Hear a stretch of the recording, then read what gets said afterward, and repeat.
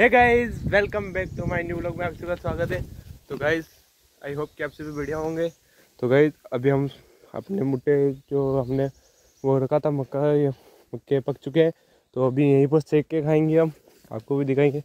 तो देखो गाइस इतने बड़े बड़े भुट्टे हो चुके हैं। ये देखो। दाना भी अच्छी तरीके से पक चुका है। तो ऐसे सबको तोड़ तोड़ के अभी इकट्ठे करेंगे हम सब जने खाएँगे और हमारे टमाटर वमाटर के पौधों के भी अच्छे से टमाटर वमाटर लगने लग चुके हैं। तो अभी सकते हैं मक्के तो आपको दिखाते हैं।